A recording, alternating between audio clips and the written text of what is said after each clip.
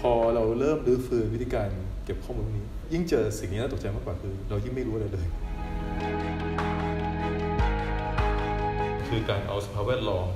ของพื้นที่ที่สัตว์ชนิดนั้นเคยมีชีวิตอยู่ แล้วก็มาสร้างเป็นตัวผลงานศิลปะ reincarnation ทั้งหมดไม่ใช่การรื้อฟื้นสปีชีส์นั้น แต่คือการรื้อฟื้นประวัติศาสตร์ของสปีชีส์นั้นๆขึ้นมาว่ามันเกี่ยวข้องกับอะไรบ้าง